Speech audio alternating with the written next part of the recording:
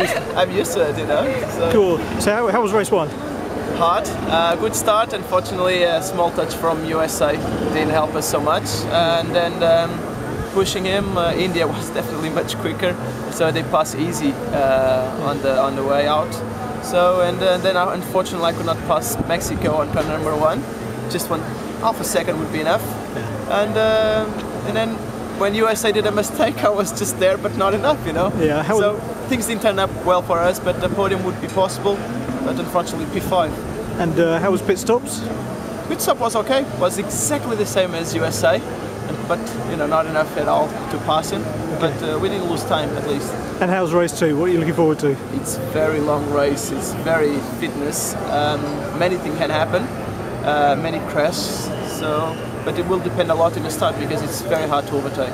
Excellent. Thank you very much indeed.